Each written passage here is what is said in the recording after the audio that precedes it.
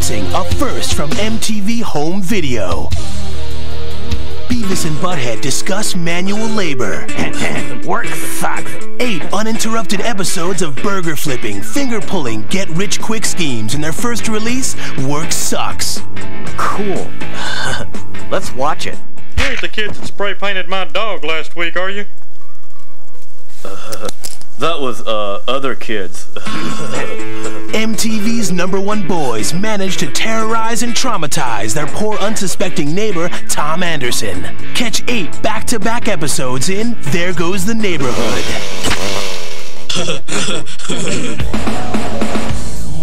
Liquid Television, an amazing compilation of mind blowing animation.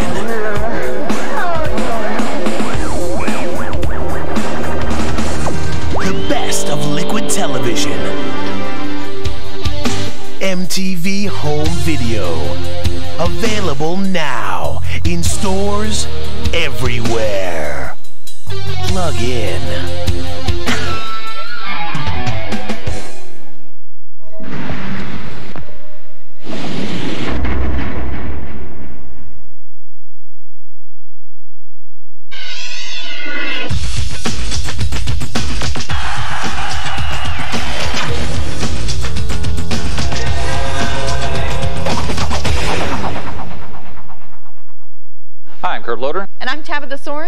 Is the Year in Rock 94. A look back at a year of punk resurgence and a new generation of mud-covered Woodstock masses. Rappers in trouble. Democrats in trouble. And students in trouble for just about anything they did. It was a year of big albums. And the usual bevy of hot new acts. And a year in which one of rock's most gifted groups was sundered by the suicide of its leader, Kurt Cobain. 1994 was also a year in which it became very difficult to distinguish between the garish style and substance of tabloid newspapers and life itself. It was a year of media run amok.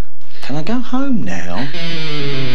Not yet, John. It was another unbelievable year among the unbelievable people, but we can sum it up pretty quickly.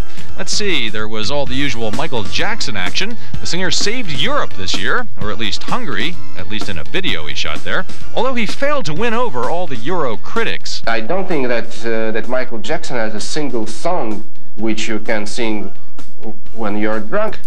Taking a break from fending off child molesting charges, Jackson also got married this year, sort of. Fans of the bride's father, the late Elvis Presley, declared themselves embarrassed on his behalf. Jackson's always entertaining family also elbowed into the act, yakking up a Jackson Family Honors Award show that, as it turned out, not a whole lot of people wanted to see. And did we mention the Wisconsin woman who changed her name to Michael Jackson? I'm going to do something that no one else will do, that no one else had the guts to do. So I went as far as changing the name. True, there were catastrophic earthquakes and floods that afflicted millions of Americans this year. But these disasters paled in comparison to such truly riveting stories as the Bobbitt penis whacking case, which resulted in acquittals all around, and even afforded reluctant amputee John Wayne Bobbitt the opportunity to unveil his refurbished member in a hit porno movie. How about that Tonya Harding, who, as a result of a botched attack on rival skater Nancy Kerrigan, went from plucky Olympic hopeful to queen of white trash scandal, and finally, unwitting star of a wedding night sex tape that her estranged husband sold to Penthouse magazine.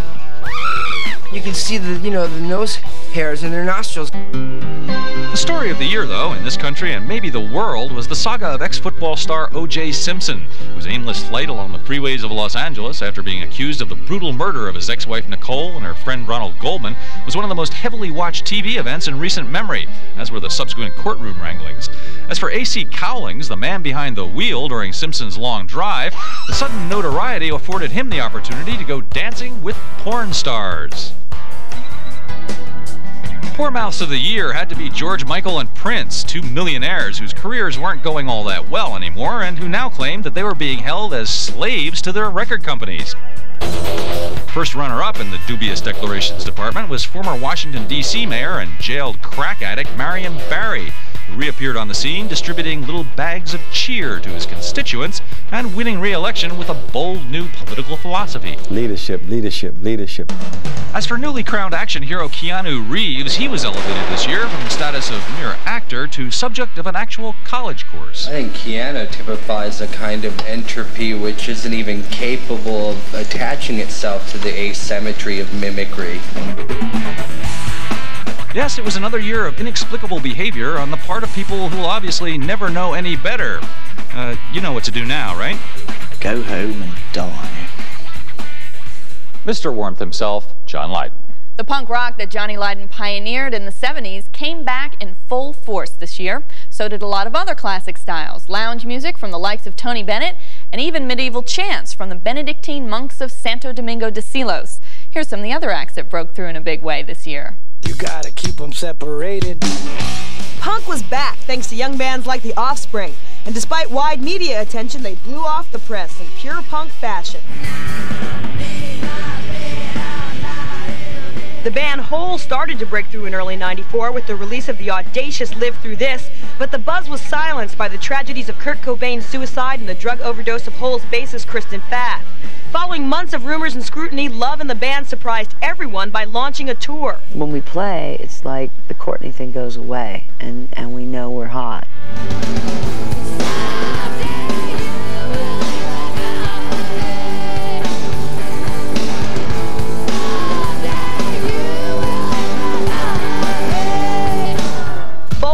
Folk, punk, hip-hop, blues brat Beck was the most popular loser this year, and he coped riding the wave of success with surf slacker irony. Beck, uh, your song Loser, man, it's a smash hit. How do you feel about that? It's like uh, surfing and some oil spillage. Noisemakers weren't the only hit makers this year. Pure and simple music made by singer-songwriters made stars out of earnest unknowns, such as Lisa Loeb and Counting Crows. It's real emotional. It's real heartfelt. I think, you know, it means a lot to us. I think that carries over to people see that. For women like me that are very, very lyric driven, it's it seems to be sort of a healthy time.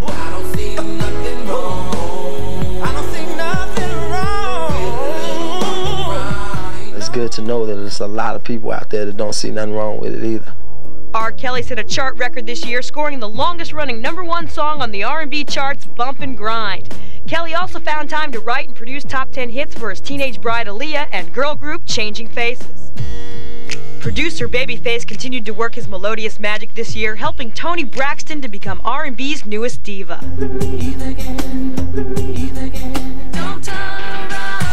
But it was Sweden's Ace of Base that moved massive amounts of pop product this year, selling more than 4 million copies of their debut album, The Sign.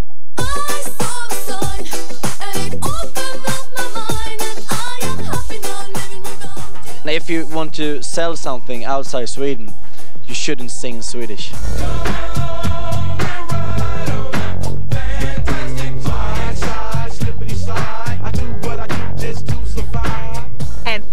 Compton's latest hip-hop graduate is Coolio.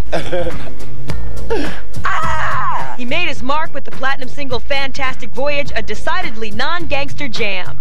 Everybody don't gotta be, you know, you know what I'm saying? Even though I can be like that, you know what I'm saying? So don't trip. Coolio also gets the award for Breakthrough Haircut of the Year. Position held last year by Snoop. Doggy Dogg. It was a good year for selling records for the usual successful suspects Aerosmith, Madonna, Tom Petty, REM, Boyz II Men, and Mariah Carey. Here's the All Star Honor Roll.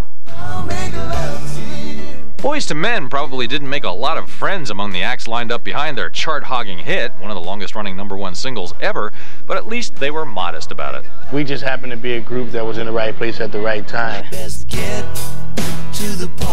Tom Petty, man of many faces, all of them deadpan, released one of his best albums in 1994. Earlier in the year, Petty released a video featuring actress Kim Basinger as a corpse. It's very tough to be dead. I must say she really threw herself into it and I was really impressed by her dedication. She was very professional. There was a time when some would have said we're over. But yeah, we came back just to kick some ass. And apparently they did, at least at the MTV Video Music Awards. Aerosmith also released a collection of past hits in 1994, aptly called Big Ones. We've had enough of this. I hate this. Sh-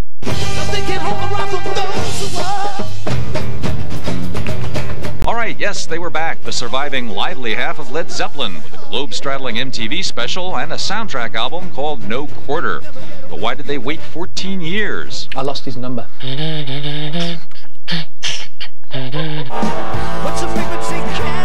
REM turned its back on Balladville this year and cranked out its hardest guitar-fueled album in years. If we'd made another really quiet record, then we would be, you know, James Taylor for life. And nobody was happier about finally getting Monster onto the market than the guys who made it. For me, it's a real relief when the record finally comes out because it, it, it, it stops being ours and it becomes everyone else's. And at that point, they can love it or hate it.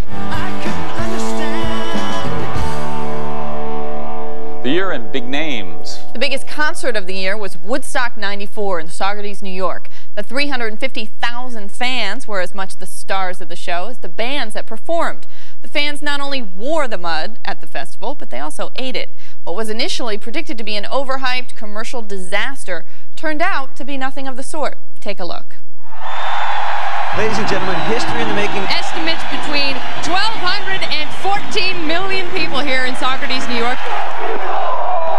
People were moshing, sliding around in the mud. It's crazy. This is Woodstock 94. I'm from Mexico, from Fort Wayne, Indiana. Washington State. Connecticut. Canada. I'm not expecting sleep for the next three, four days. It's just going to be crazy. A lot of clothes just in case it rains, just in case it snows, whatever. Got my toothbrush and a couple clean clothes and I'm all set. This is the gate in. Please remove all weapons, drugs, contraband. It ain't getting in here. The food prices are going to be ridiculous and I'm not allowed to bring in any food. Ladies, what brought you to Woodstock? Oh, we just came to see all the good bands. Who you guys come to see? Metallica, Aerosmith, Probably Green Day. Violent Femmes. Crosby, Stills, and Nash. Crosby, Stills, and Nash. Now, what about you, man? Nine Inch Nails. What bands have you seen today that you really uh, dug? Live. Primus was pretty cool. I wasn't even listening to music, just going crazy with other people, just dancing and stuff. I don't even really know who was playing. There's a lot of random acts of nudity going on. Yeah, I'll be back. You need to sit down. Lost my underwear last night because there's no, uh, what is it, toilet paper in the bathroom. I don't really think that Woodstock is a lot to do with anything about 69 because we have a whole different attitude. People here are ready to slam. Everybody told us exactly what to expect down to the mud, and we got it. It's like Mudstock now instead of Woodstock. A lot of people dipped in mud. It's like everyone was rolling around in the remains of a chocolate sundae and having a good time. Lou, eat some mud. Eat some mud. Just eat some mud. Lou, in your mouth. Eat it. Woodstock 94, where mud is more than just earth, it's an entree. How's your family gonna think about seeing you all muddy like this? They're gonna kill me. They're gonna kill you. Why's that?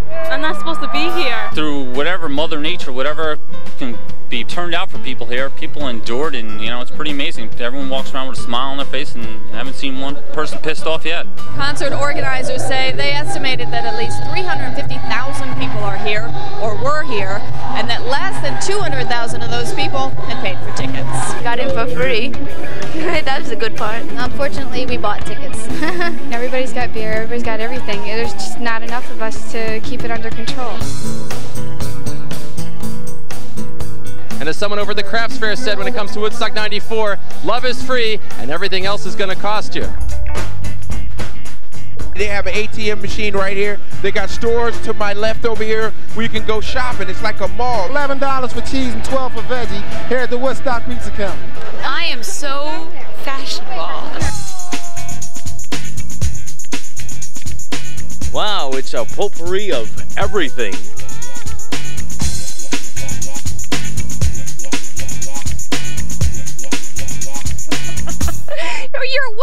Are you sleeping?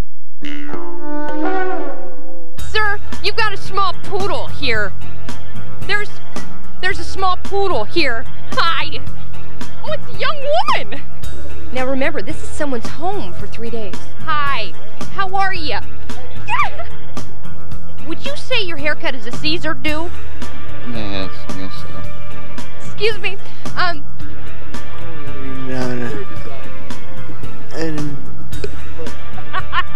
Woodstock happens once every 25 years. Why are you asleep?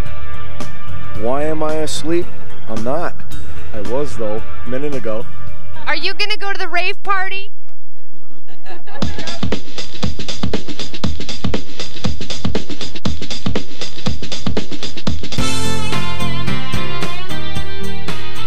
Everybody was so close, so everybody was just nice to each other and made a little town.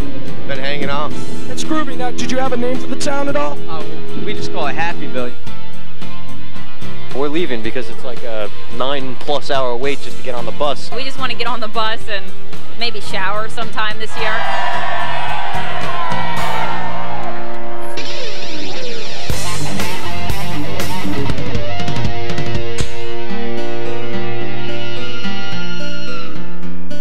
Strangest thing that I saw.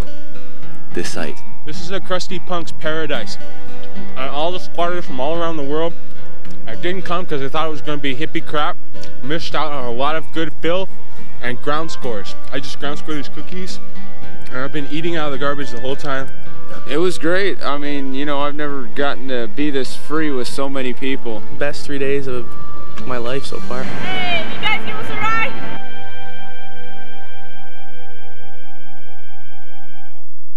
The peace sign that you saw in that report was made of garbage and was very similar to the one left on the field as a parting gift after the Woodstock 69 concert. Miraculously, the whole site of this year's concert now looks brand new after $1 million of soil and seed. 1994 was also a year of loss, of course. Real-world star Pedro Zamora, who brought the horrors of AIDS into millions of viewers' homes, lost his battle with that disease on November 11th. Here's a final farewell to Pedro and some other people we lost. I will probably not see the age of 30. I will probably die before I turn 30 years of age. But that's, of course, is uh, statistically speaking. And, and what I have to remind myself is constantly is that I am not a statistic. I am a human being. And, and, and somehow you have to find some type of meaning to your life.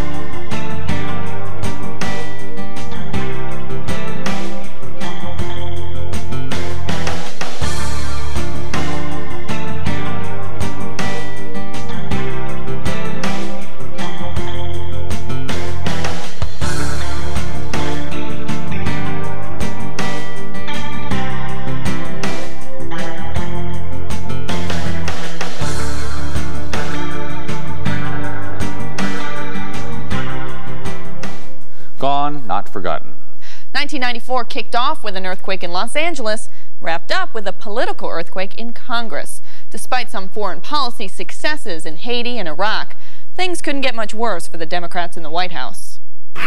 It wouldn't be going out on a limb to say Bill Clinton had a bad year. The sour mood dominating the country literally hit home for the Clintons. One man shot up the White House while another deranged man crashed his plane into the first family's backyard.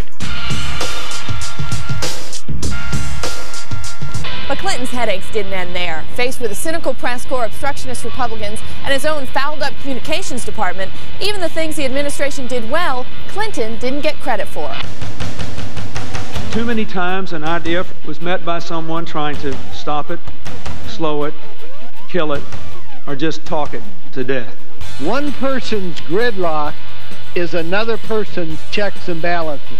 Beset with more cliques than your average junior high school, the 103rd Congress was paralyzed by partisanship and will be remembered more for what it didn't do than for what it did. His goal is to say, I'm going to bring in all of my left-wing counterculture friends to design a bunch of programs that are bound to fail, and you're an obstructionist if you don't agree. Then he is going to get remarkably little support next year. The president and the first lady's poor timing and inability to effectively work with Republicans bungled the administration's biggest initiative, health care reform, leaving millions of young people uninsured. Even traditionally bipartisan legislation like the crime bill was a tough fight. Clinton was the first president to stand up to the National Rifle Association by outlawing 19 types of assault weapons. The other main obstacle to Clinton getting his message out was the White House press corps. The president doesn't like the press, and lots of members of the press don't like the president. Although you'd never know it because of the president's hostile relationship with the press, in two years, Clinton has already achieved more domestically than John F. Kennedy, Gerald Ford, Jimmy Carter, and George Bush combined. Bill Clinton, crime bill, education bill, new student loan system, national service, reinventing government initiative that's cutting the size of the federal government, major deficit reduction. Huge record compared to these guys. Inhale that one. I know I got a bad reputation. reputation. Scandals like Whitewater and Paula Jones distracted both the press and the public from the president's agenda. Do you know of any money that could have gone from Madison to the Whitewater Project or to any of your husband's political campaigns? Absolutely not. It's a can of worms.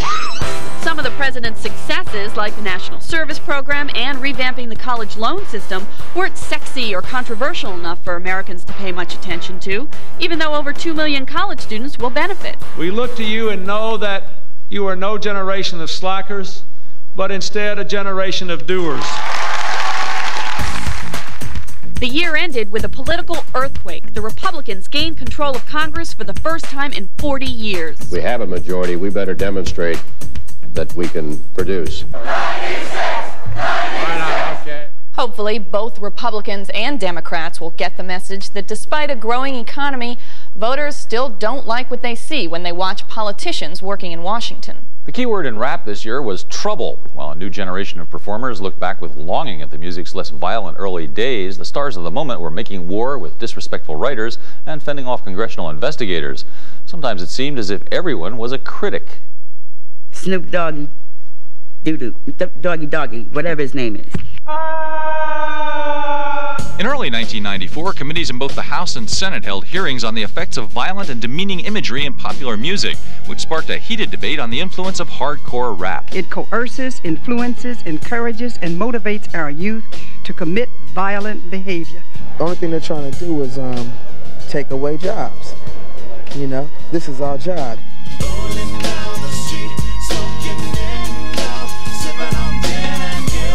Do you think that gangster rap is promoting or contributing to the violent crimes committed by today's youth? The answer is it depends on what the end of the song is. I mean, what is the purpose of it? Is it to make people understand and empathize with and try to do something about these terrible problems? Or is it to legitimize violence and criminal conduct and ultimately self-defeating behavior? And for me to answer your question, I'd have to know the answer to that, and I just don't know enough to answer it. Gangster rap is not just no fad. We ain't making nobody kill nobody. We ain't, you know what I'm saying, promoting violence. We just exposing reality. Snoop Doggy Dogg, a man of many hairstyles, went to number one with the soundtrack of Murder Was the Case, a mini movie in which he also starred. Back in real life, Snoop's own murder trial was scheduled to start in January 95. We're after two male suspects, Dr. Dre and Ice Cube. Former NWA bandmates Dr. Dre and Ice Cube reunited to cut a track called Natural Born Killers, the video for which featured a speculative reenactment of the brutal Nicole Brown Simpson murders. For Dr. Dre, it was both the best and worst of years. His Death Row Records label continued to thrive, but in August he was sentenced to eight months in jail for violating probation. Don't block my way and don't hit my lawyer. It'd do much more good to this world, to this court, and to this community if you put me on the street. It was a bad year for Tupac Shakur. Despite starring in the basketball movie Above the Rim and landing a part in the film Bullet with Mickey Rourke, the rapper and actor will be remembered most for his national courtroom tour, which took him from California, where he spent a week in jail for assaulting filmmaker Allen Hughes, to Michigan, to Georgia, and to New York City. I'm selling records. This is what I do for a living. I'm selling records. Don't get it twisted. This is not my real life. This is not how my real life is supposed to be. Real life soon intruded when Tupac was shot five times during an apparent robbery, then left the hospital only hours after surgery, and appeared the next day in court bandaged, weak, and wheelchair bound. Please give me some space, y'all. Please, man. Tupac wasn't on hand to hear the jury's verdict, guilty on three counts of sexual abuse. The story also wasn't good for TLC rapper Lisa Left Eye Lopes, who was arrested and accused of torching the mansion of her boyfriend, Atlanta Falcons wide receiver Andre Rison. Later, as an apparent joke or publicity stunt, Left Eye and Company appeared in firefighter's gear on the cover of Vibe magazine. The news for Salt-N-Pepa this year, however, was nothing but good, and lots of new talent from the East Coast also hit it big nationwide. And here comes a brand new flavor in your Air Max, a brand new flavor in your Air. Cash rules everything around me. Green, get the money. Dollar, dollar bill, yo. Whose world is this? The world is yours. The world is yours. Smart, smart, smart. It's kinda easy when you listen to the G-Dub sound. Pioneer West Coast rappers also prospered, especially Warren G, whose debut album sold close to 2 million copies. Back in the days when I was young, I'm not a kid anymore. But some days I sit and wish I was a kid again. Most significantly, perhaps, a number of rap newcomers paid tribute to the music's old school and a time when rappers battled on the mic, not in the courts. Think about the years I was raised back in the day. Back in Rap looks back. And now we're going to take a look back at some of the year's most memorable raps. Check What's happening? Like this time, this is MTV, right? You're rolling? You got speed. Ready? Give me that hammer. Hey, do you have a list of questions? Hey, yo, guess what? We rolling. There's the lights. There's the camera. Give me some action. I never got so into the Brady's as everybody, but you can describe, you know, a mood, you know, as a Peter mood or a Cindy mood. And one time when I, I did telemarketing in LA, uh, a lot of metal guys did it, like in, you know, bands like Bang Tango. And you probably do some of these bands, so don't get offended, Jackyl or something.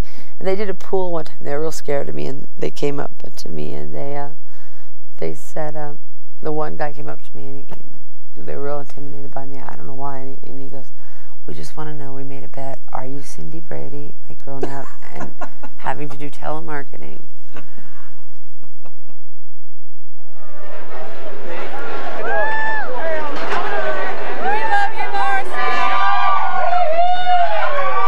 Well, I think they're very intelligent people. I just feel like an idiot. I was just so overwhelmed.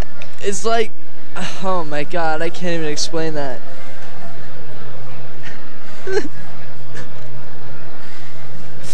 His personality, his being, he's a wonderful person. He's very loving, understanding.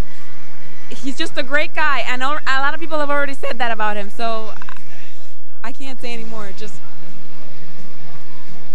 They will literally do anything and go to any lengths and uh, be as extreme as possible. I've been here for 43 hours. I think they actually just like the way I sing.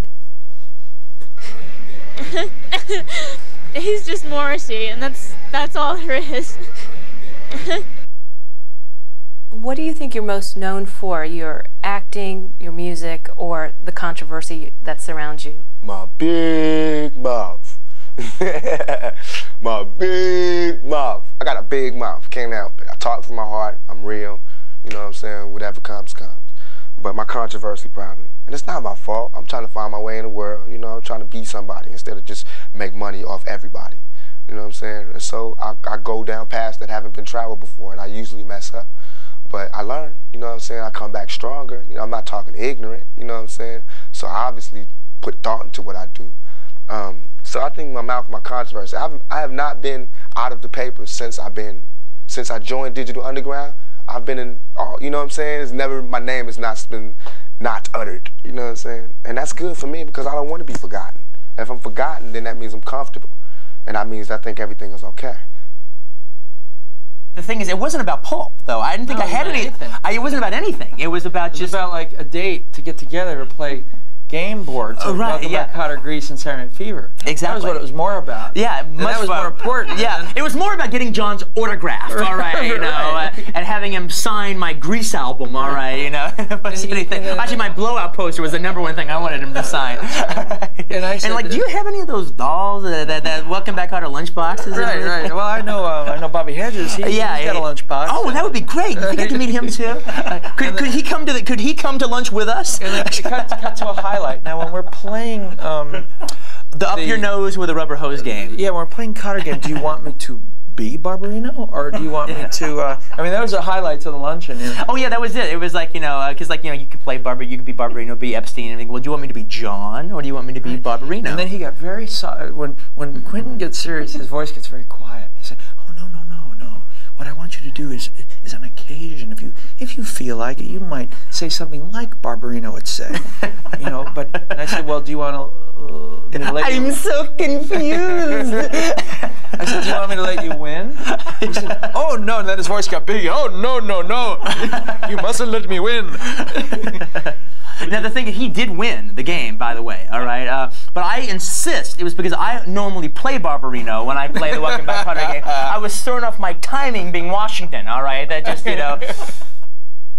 in the rock world, uh, I kind of stick out very funny because I'm not some guy who uh, has, you know, the typical rocker is just kind of like, you know, and I'm more like a narc or something, or like, hi, I'm in I'm in rock and roll, and they're like, you're not in a band. Oh yes, I am. I I, don't. I'm not very rock and roll. I'm so straight in a lot of ways. Yo, what's up, man? How you doing, man? You got gas for them skates, man? You stop at the gas station to get gas? You need gas, G. Word up, man. If you ain't got gas, you can go ahead, man. You want icy, G? Come on, get icy, G. Get icy, man. Yo, man, I'm telling you, it'll make the rolling a lot cooler, G. Word up, man. I'm telling you, G. You'll be a whole lot cooler getting the icy. You know what I'm saying? It's kind of nicey. Word up, G. Get any flavor you want, man. Come here, man. Come here, come here, G. I don't want it. Huh? Well, you gonna get it anyway, alright? Word up. I'm gonna give it to you, G. You don't buy me icy? Yeah, come on, B. Come on, I got your back. I got your back, G. You understand? Hey, yo, my man wants the icy, G. Word up. You gotta hit my man off with some flavor, man. You start roasting when you're coasting. Yo, you- What's your name, man? Sal. Sal? Be cool, Sal. Nice to meet lot, you, yo. G. Word up. My man, I'll see you later on for the dime, G. Word up. I love MTV. I love it. Death kind of follows you around, though. When you went for a, uh, I don't know why. Good thing we had the cameras rolling. Indeed. On the concert front this year, the big acts were older than ever and ticket prices were higher, but audiences turned out in droves anyway. Here's the wrap up. Why tour Lollapalooza style this summer? What's good about it? What do you like about it? I don't know.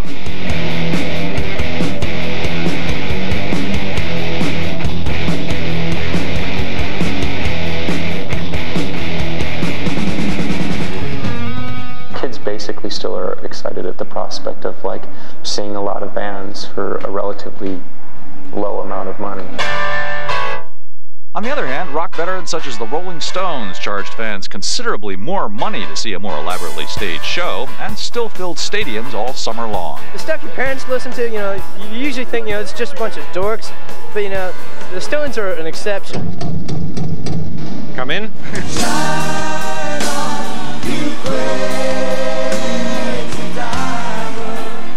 show. It restored my faith in going back out to concerts again.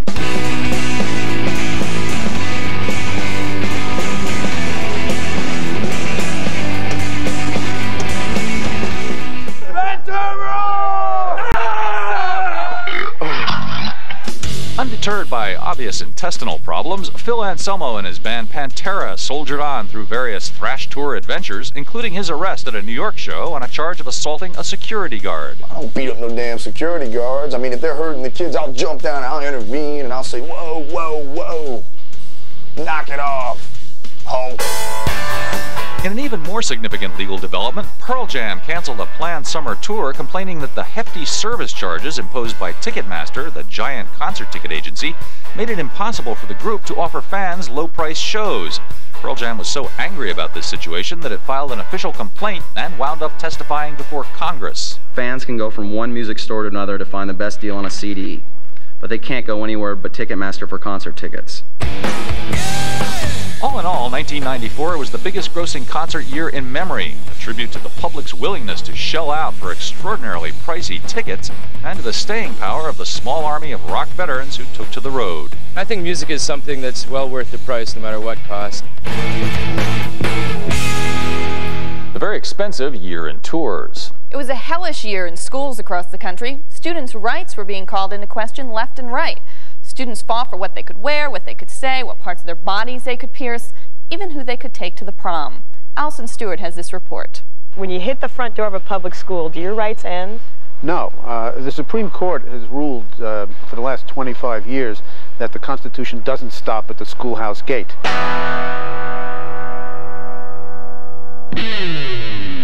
You wouldn't know it from the way students' rights were ignored in 94.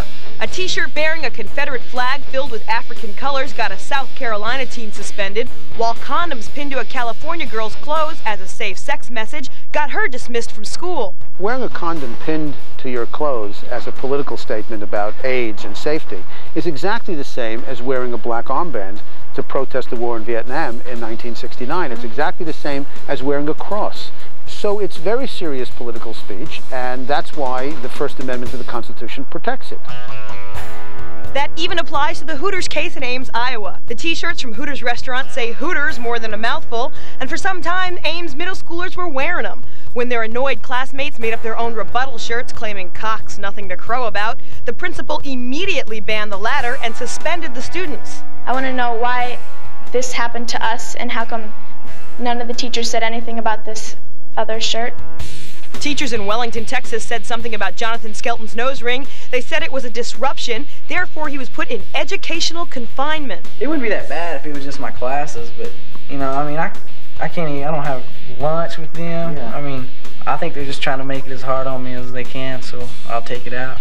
They shouldn't have the right to tell me what I can wear and what I can't wear. That's even in question in California. In August, Governor Pete Wilson signed a law allowing public schools to require uniforms, following up an earlier ban of baggy pants and other supposedly gang-related clothing. While in Georgia, a moment of silence went into effect in July. A popular idea in 94, reopening the controversy surrounding school prayer, which was ruled unconstitutional in 1962.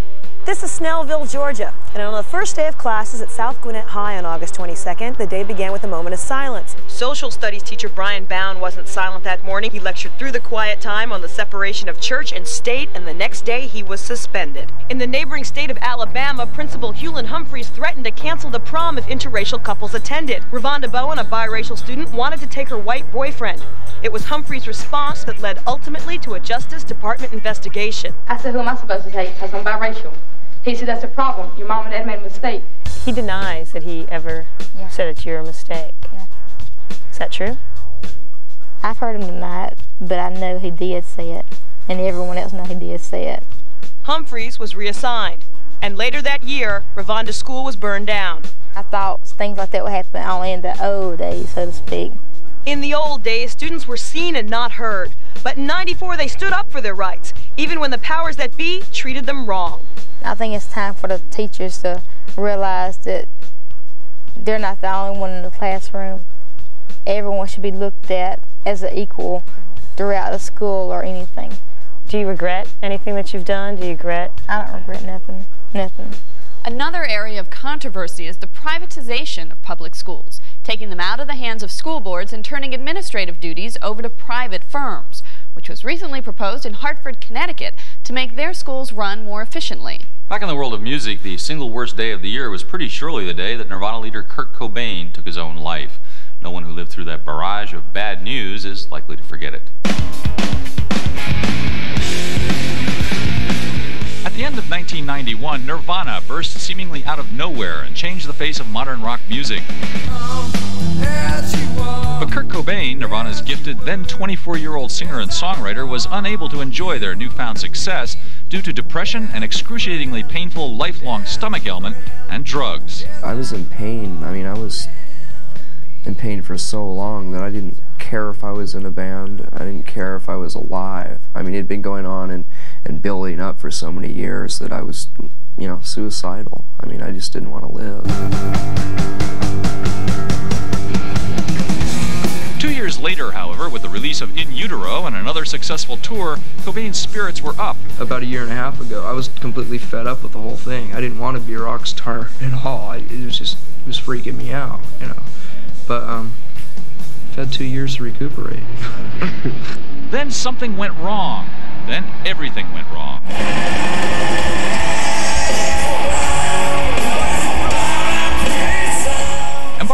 European tour, Cobain quickly became sick and started canceling concerts.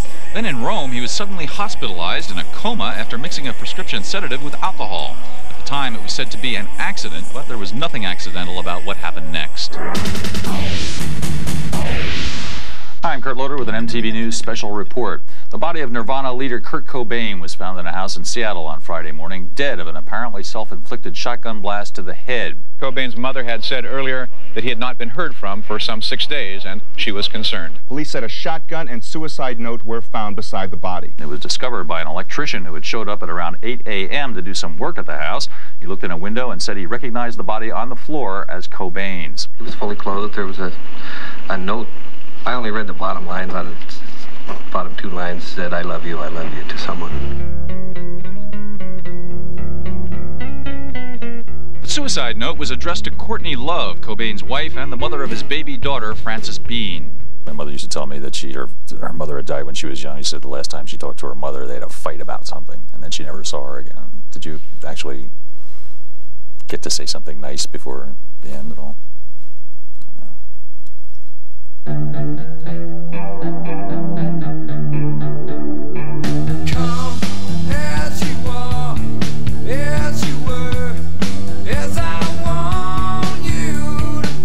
That weekend, fans gathered in a Seattle park to memorialize the musician who just felt he couldn't go on anymore.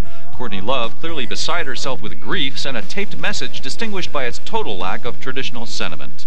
I don't really know what to say. I feel the same way you guys do. I don't really think it takes away his dignity to read this, considering that it's addressed to most of you. This note should be pretty easy to understand. I haven't felt the excitement of listening to as well as creating music, along with really writing something for too many years now. The fact is, I can't fool you, any one of you. It simply isn't fair to you or to me. The worst crime I can think of would be to pull people off by faking it and pretending as if I'm having 100% fun. No, Kurt, the worst crime I can think of is for you to just continue being a rock star when you f***ing hate it and just f***ing stop.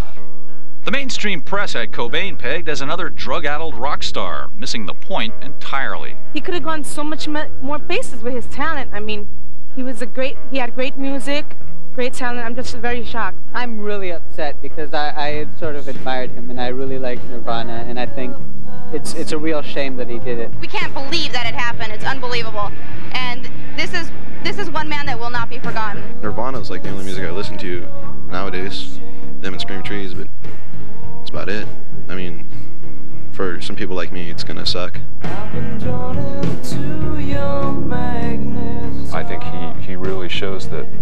There's a generation out there that, that really has to come to grips with um, their future. And in many ways, I think a lot of older people and parents really shouldn't look at this as like, you know, this is a rock star, couldn't handle it. I say, this is your kids. Think about it.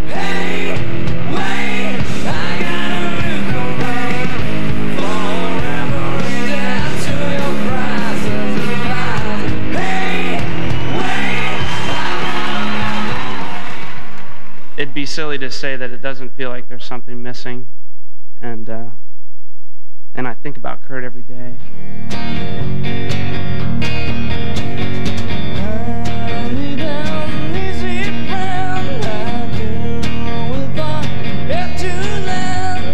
So Kurt Cobain was gone way too soon. And while it may be a cliche to say that his music lives on, the quality of the music that he wrote and played with Nirvana, its human dimension, was such that it really is a consolation of sorts and continues to speak to all who listen. Something did happen, but I think it's just a general attitude amongst people to realize that there are that many people, that many kids our age, that basically have the same views as we do and like the same kind of music. You know, that's a really amazing thing.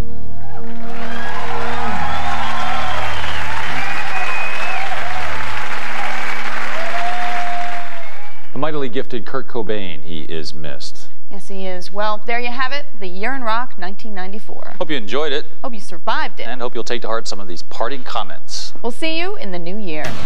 Roll credit. Watch this.